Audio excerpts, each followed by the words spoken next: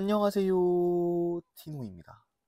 이번 영상에서는 동적평형 문제 푸는 방법에 대해서 알려드리려고 합니다. 동적평형을 확인하는 실험, 그리고 동적평형 문제에 자주 나오는 보기들, 그리고 여러분들이 헷갈릴 수 있는 5개념들도 한번 싹 다 정리를 해보도록 할게요. 첫 번째로 동적평형을 확인하는 실험부터 볼 건데요.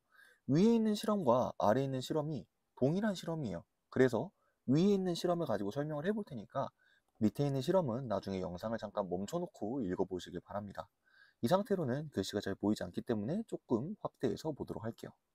실험 과정 가를 보니까 일정한 온도에서 비커에 일정량의 물을 넣고 23짜리 염화나트륨을 계속 넣어주었더니 어느 순간부터는 녹지 않은 염화나트륨이 비커 바닥에 가라앉았다. 우리는 이미 배워서 알고 있습니다. 가용액은 어떤 상태에 도달했다? 동적 평형, 용해 평형 상태에 도달했다라는 것을 알 수 있겠죠. 그 다음 과정 이어서 봐볼게요. 가위 비커에 24NA가 포함된 염화나트륨을 한 숟가락 넣어주었다. 까지가 실험 과정입니다. 그러면 우리는 나에서 어떠한 변화가 일어날 것인지를 해석을 해주면 되겠죠. 우리가 아직 동적 평을 배우지 않았다고 생각을 해볼게요. 그러면 포화 용액이 들어있는 가 비커에서 용해와 석출은 일어나는 거예요? 안 일어나는 거예요? 안 일어나는 거죠. 더 이상의 용해가 일어나지 않기 때문에 고체가 녹아 들어가지 못하고 있는 거예요.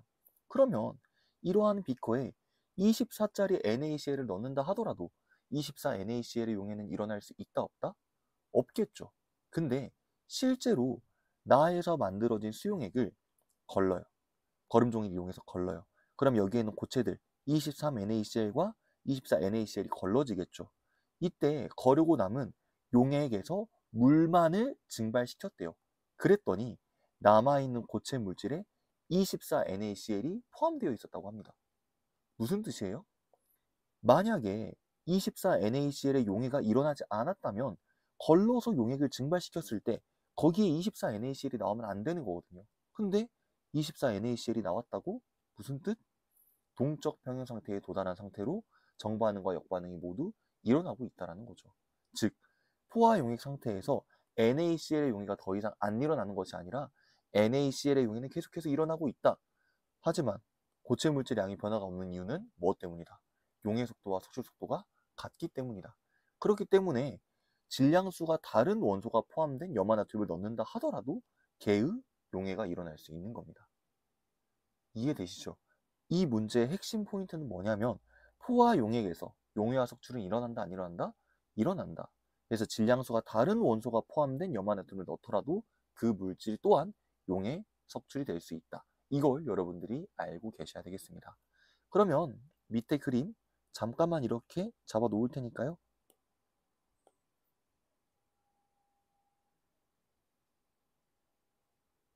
확인이 되신 분들은 다음 내용 이어서 보시면 될 것 같습니다. 두 번째로 볼 내용은 동적 평에서 자주 물어보는 보기입니다. 근데 이러한 보기는 동적 평형 도달 전에 물어볼 수도 있고 동적 평형 도달 이후에 물어볼 수도 있어요. 그래서 선생님이 여기에다 정리해 놓은 보기를 동적 평형 도달 전, 동적 평형 도달 이후 이렇게 나눠 가지고 한번 해석을 해 볼게요. 첫 번째로 물어보는 건 동적 평형 도달 전후의 반응물, 생성물의 양의 변화입니다. 동적 평형에 도달하기 전까지 정반응 속도와 역반응 속도 중 누가 더 빨라요? 정반응 속도가 더 빠르죠. 그 말은 반응물의 양은 점점 어떻게 될 것이고 줄어들 것이고 생성물의 양은 어떻게 될 것이다? 늘어날 것이다. 하지만 동적 평형에 도달하게 되면 반응물의 양과 생성물의 양 변화는 있다 없다? 없다. 정반응 속도와 역반응 속도가 같기 때문에 양의 변화는 나타나지 않을 것이다. 이렇게 생각을 해줄 수 있겠죠. 이거를 어떤 식으로 물어보기도 하냐면 이런 분수값으로 물어보기도 해요. 물론 분모 분자의 위치가 바뀔 수도 있습니다. 자, 이거 한번 볼게요. 반응물의 양분의 생성물의 양이라고 정리가 되어 있어요. 동적 평형 도달 전에는 이 수치가 1보다 클까요? 작을까요? 모릅니다. 동적 평형과 얘네들의 양의 관련은 없어요. 그래서 이 수치가 몇이다라고 정의할 수 없지만 초기부터 동적 평형에 도달하기까지 이 값이 어떻게 변하는지는 알 수 있습니다. 방금 우리가 봤던 것처럼 반응물의 양은 감소하고 생성물의 양은 늘어난다 그랬죠. 그럼 분모가 감소하고 분자가 증가하니까 이 분수값은 증가하게 되겠죠. 그러다 동적 평형에 도달하게 되면 더 이상의 양 변화가 없기 때문에 이 분수값이 일정한 값으로 유지가 되게 될 거예요. 절대로 이게 1이다가 아닙니다. 반응물의 양과 생성물의 양이 같은 게 동적 평형이 아니라 정반응 속도와 역반응 속도가 같은 게 동적 평형이에요. 절대로 헷갈리면 안 되겠습니다. 다음으로 확인해 볼 보기는 정반응과 역반응 속도 변화에 대한 내용입니다. 마찬가지로 도달 전, 도달 후 나눠서 생각을 해볼게요. 정반응 속도, 동적 평형 도달 전, 시간이 지나더라도 변해요, 안 변해요? 안 변하죠. 동적 평형 도달 이후, 정반응 속도는 변해요, 안 변해요? 안 변합니다. 정반응 속도는 초기부터 동적 평형에 도달하기 전까지 또는 그 이후까지 속도 변화가 있다 없다? 없다. 하지만 역반응은 아니죠. 동적 평형 도달 전 시간이 지나면 지날수록 역반응 속도 어떻게 돼요? 빨라집니다. 그러다가 정반응과 역반응의 속도가 같아지게 되면 더 이상 빨라지지 않고 일정한 상태로 유지가 되죠.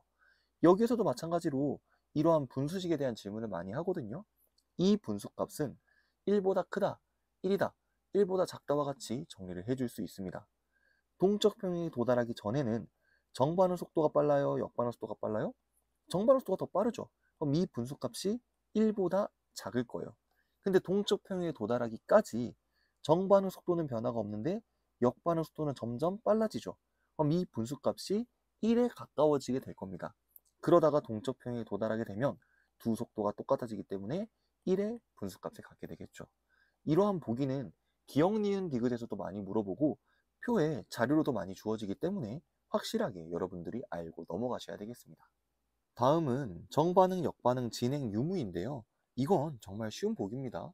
동적평에 도달하기 전이든 동적평에 도달한 이후든 정반응과 역반응은 계속해서 진행이 된다 안 된다? 계속해서 진행이 된다.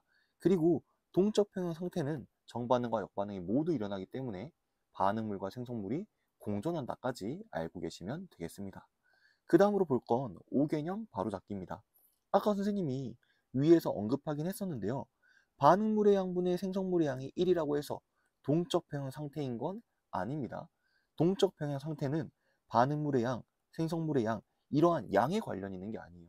속도에 관련된 값이기 때문에 속도가 같은 속도에 대한 분수값이 1일 때가 동적 평인 거지 단순히 두 물질의 양이 같을 때가 동적 평형 상태는 아니라는 거 알고 계셔야 되겠습니다.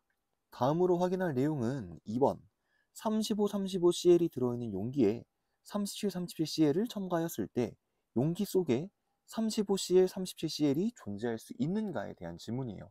이건 여러분들이 영상을 멈춰놓고 한번 생각을 해보시길 바래요. 과연 이러한 염소 분자가 존재할 수 있을 것인가? 정답은 존재할 수 없습니다. 동적 평이라고 하는 건 가역 반응에서 정반응 속도와 역반응 속도가 같아서 변화가 일어나지 않는 것처럼 보이는 상태잖아요. 그럼 여러분들이 무슨 생각을 해야 되냐면 이러한 기체를 같은 용기에 넣었을 때 여기 염소와 염소 사이에 형성된 공유결합이 깨지는 반응이 일어나는지를 생각을 해봐야 돼요. 만약에 염소끼리의 공유결합이 깨지고 공유결합이 계속해서 새롭게 다시 만들어지고 있는 상황이라면 이러한 두 기체 사이에서 공유결합이 끊어지고 새로운 원자끼리 공유결합을 하는 이러한 현상이 나타날 수 있겠죠. 하지만 용기 속에 있는 염소 분자들은 그러한 반응을 일으키지 않습니다. 즉, 염소 원자 사이의 공유결합이 끊어지지 않아요. 그러면 애초에 공유결합이 안 끊어지니 이런 식으로 결합을 할 일이 없겠죠. 이건 동적평에 관련된 낚시보기이지 동적평에 관련된 내용은 아닙니다. 그래서 이런 식으로 단순히 두 기체를 섞었을 때 이런 식으로 짬뽕된 기체는 등장하지 않는다는 거 기억을 해 주셔야 되겠습니다. 마지막으로 볼 내용은 화학평형 그래프에 관련된 내용인데요. 아까 선생님이 앞에서 정반응 속도는 동적평에 도달하기까지 변하지 않지만 역반응 속도는 빨라지다가 일정해진다고 했거든요. 근데 이건 물리평형에 해당하는 내용이에요. 화학평형은 정반응 속도도 변합니다. 어떤 식으로 변화하냐? 화학평형, 동적평에 도달하기까지 정반응 속도가 느려지고요. 이때 역반응 속도가 빨라지다가 동적평형 상태에 도달을 해요. 근데 선생님이 이전에 문화학에서 언급한 적이 있어요.